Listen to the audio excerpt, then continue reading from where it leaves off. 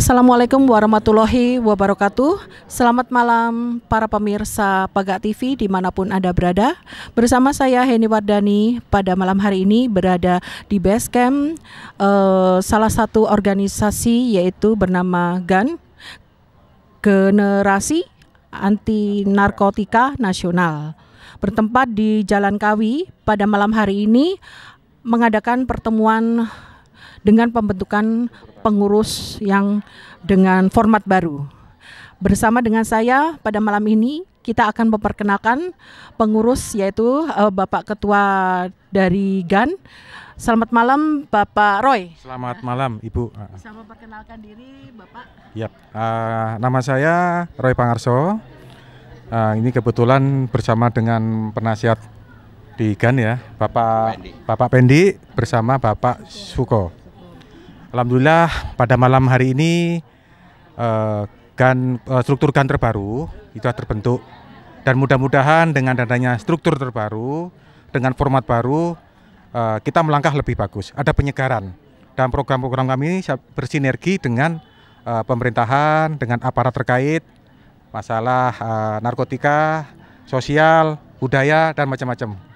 Uh, intinya kami di sini saling bersinergi dengan berbagai pihak termasuk mungkin organisasi-organisasi yang lain ibu ya.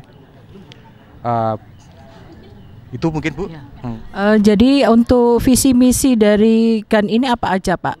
Karena selama ini kita melihat bahaya narkotika ini luar biasa ya. Dengan bertambahnya tahun ini semakin banyak nggak tambah menurun tetapi semakin banyak. Nah, bagaimana cara menyingkapi dalam hal ini kan?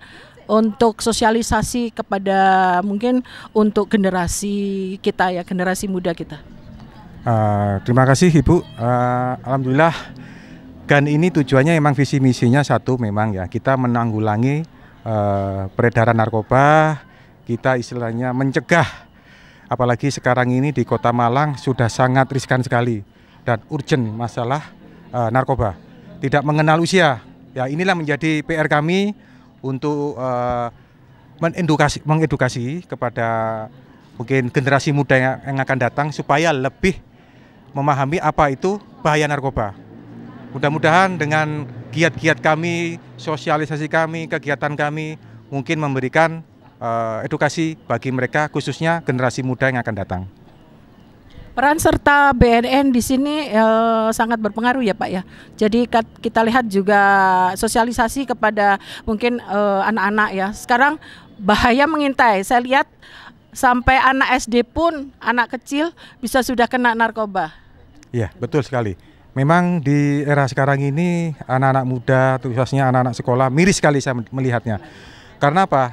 Di sini kita tidak mengenal usia, tapi anak-anak sudah sudah tahu narkoba itu sudah ya mungkin sebagian kecil ya anak-anak sudah tahu. Bukan hanya narkoba ya pak ya. Jadi istilahnya mungkin pemakaian kayak sejenis lem. Uh, mungkin lem atau mungkin ganja sintetis lah. Itu yang ya dan non sintetis itu yang sangat membahayakan. Nah gimana caranya kami di sini kan istilahnya mengedukasi mereka supaya menghindari mencegah. Jangan sampai anak-anak atau generasi muda ini lebih parah. Dalam arti kita di sini menanggulangi supaya nantinya ke depan anak-anak itu oh ini bahayanya narkoba. Ya. Gitu. Begitu, Bu. Untuk progres ke depannya GAN ini uh, bersinergi dengan masyarakat juga ya. Nah, tentunya agenda Pak Roy ini apa saja? Kan ini sudah kita masuk dalam suasana Ramadan ya. Ada mungkin acara-acara dari GAN di dalam bulan puasa ini. Alhamdulillah Bu, uh, ini kebetulan agenda kami kan, ini hari Minggu tepatnya tanggal 9 kita mengadakan takjil, uh, bagi-bagi takjil ya di daerah Jalan mana? Mojopahit. Oh, Splendid. Ah, Splendid ya. ya. Mojopahit. Bagi-bagi takjil, buka bersama. Kebetulan kami menggandeng, kan ini menggandeng komunitas ontel. Ontel. Kota Malang betul. Oh, sepeda kuno. Sepeda kuno. Nah, mudah-mudahan dengan adanya GAN dan komunitas-komunitas lain saling bersinergi. Ya, karena di Malang Raya ini banyak sekali ormas eh, ormas-ormas juga ya atau komunitas-komunitas. Nah ini besar pengaruhnya juga untuk membantu di dalam pergerakan GAN. Betul, betul sekali. Oke, betul sekali Bu. Bapak Pendi, uh, selamat malam. Bisa menjelaskan sedikit uh, sebagai penasehat dari GAN ini. Ke depannya ini bagaimana GAN ini akan kita apa bantu ya? Baik, terima kasih Bu Eni. Tadi sudah disampaikan oleh Ketua yaitu Bapak Roy ya. Kami sangat mendukung sekali karena karena kami sebagai penasihat atau penunjang itu sangat mendukung sekali dan kami akan memberikan sesuatu nantinya atau memberi support-support yang terkhusus bagaimana cara untuk uh, penanggulangannya dan sekaligus untuk pembinaannya. Iya, pembinaannya itu penting nanti untuk yang telah menggunakan narkoba. Dalam hal ini kami sarankan nantinya kita sarankan untuk pembinaan atau pemberitahuan kepada tingkat sekolah-sekolah ya, tingkat SMP, SMA sampai perguruan tinggi nantinya. Yaitu kita sentuh dari itu dan mudah-mudahan juga jangan lupa juga juga generasi muda ya. Tadi untuk Karang Taruna, untuk tingkat-tingkat desa ya, itu ada Karang Taruna dan ada organisasi, organisasi lain nanti yang bisa kita sentuh. Itu Bu ini nanti yang kami visualisasi untuk mungkin tidak hanya kita presentasi tetapi ada gambar bahaya Betul, betul sekali. Secara visual nanti juga kita siapkan. Juga mungkin juga ada pamflet-pamflet nanti kita sebarkan ke eh, sekolah-sekolah atau ke pos-pos yang bisa dijangkau oleh semua masyarakat umum biar tahu bagaimana bahaya narkoba, bagaimana nanti tidak lanjutnya, pencegahannya bagaimana. Itu nanti kita arahkan ke sana. Begitu, Pak, Bu. Uh, bisa menjelaskan sedikit Pak Pendi untuk pembinaan di lapas. Di lapas ini kan mereka biasanya uh, dalam kurun waktu lama ya.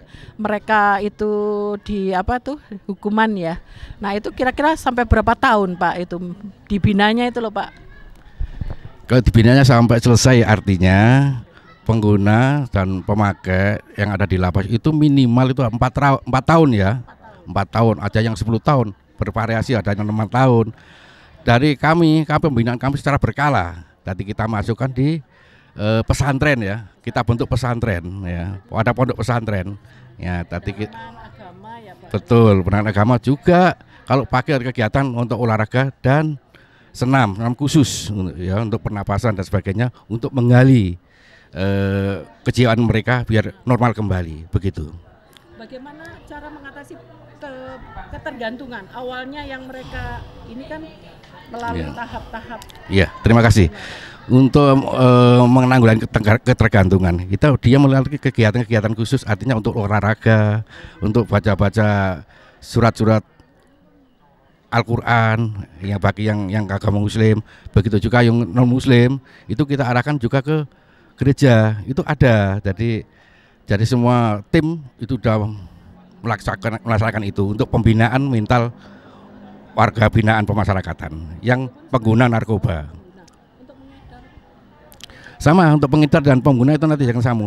Kalau pengedar lebih lama lagi minimal mungkin tujuh tahun minimal ya. Nah itu pun tidak dapat dilalui dengan mendapatkan remisi dan sebagainya karena terbentur dengan PP 99 ya itu sampai habis dia menjalankan itu, iya sampai baru lagi. Itu Bu Eni. Karena ada yang dihukum mati ya. Iya. yang dihukum mati Pak.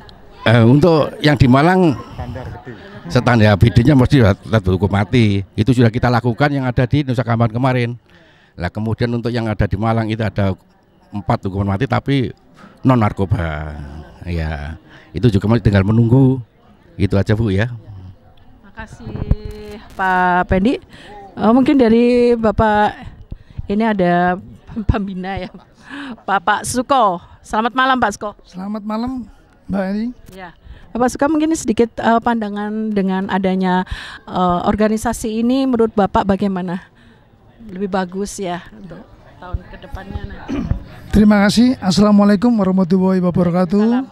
Jadi dengan munculnya uh, generasi anti narkotika nasional ini sangat luar biasa. Saya sangat support sekali, saya mendukung untuk mencegah beredarnya narkoba khususnya di wilayah Malang Raya atau Indonesia pada umumnya. Lanjut untuk masalah kegiatan ini cukup luar biasa juga Pak Ketua, Pak Roy sudah mengadakan kegiatan-kegiatan mulai besok kita buka hari Minggu ada termasuk bagi-bagi takjil dan mudah-mudahan kegiatan ini tidak hanya itu saja Pak Roy. Saya berkeinginan selaku penasehat juga pembina berkeinginan bisa bisa setiap bulan ada kegiatan supaya anggota tidak jenuh tidak vakum. Itu yang hal yang sangat sangat penting sekali ya. Lanjut fungsi GAN di sini supaya tidak over anggotanya, artinya over dengan gaya-gayaan tidak ya. Saya berkeinginan kita hanya berwenang hanya untuk mencegah ya, saja. mencegah, ya. mencegah tidak melakukan tindakan-tindakan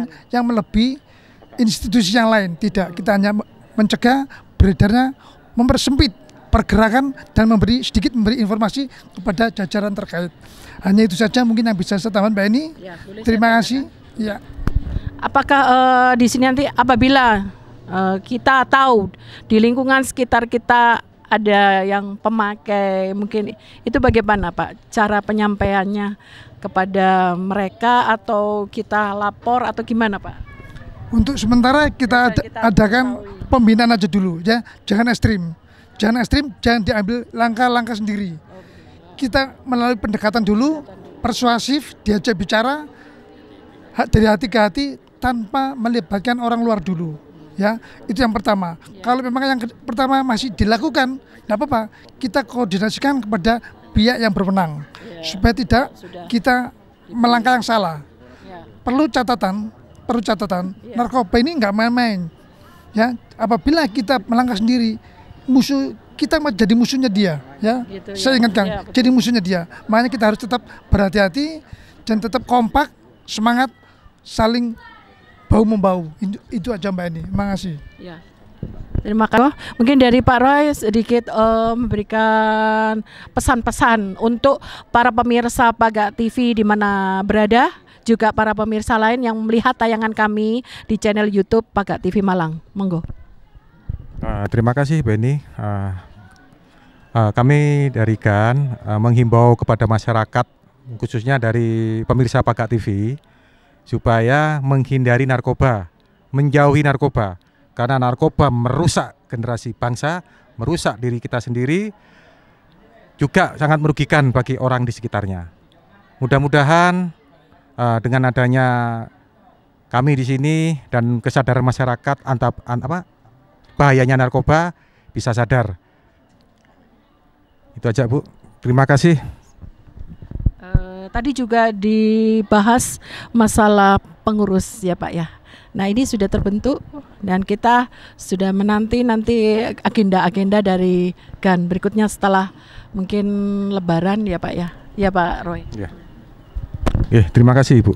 Uh, kepada pemirsa Paga TV, monggo yang punya keinginan bergabung bersama GAN Kota Malang dipersilakan dengan senang hati tidak ada paksaan, monggo dengan keiklan. Istilahnya di sini tergugah hatinya untuk memerangi narkoba. Mudah-mudahan agenda GAN ini Bu bukan hanya sekedar pembagi tajil tapi kegiatan-kegiatan sosial lainnya pasti ada. Dan ini ada penyegaran baru nantinya kegiatan dan agenda-agenda yang lainnya nggih Bapak ya. Pak Suko dan Pak Fendi. Mudah-mudahan GAN Kota Malang semakin solid, semakin berkualitas, kualitas dan berkembang. Itu aja. Terima kasih Ibu dan pemirsa Pakat TV. Terima kasih banyak. Kita sama-sama narkoba no untuk para pemirsa Pagat TV di mana pun anda berada. Yes. Wassalamualaikum warahmatullahi wabarakatuh. Liputan kami dari Heni Wardani.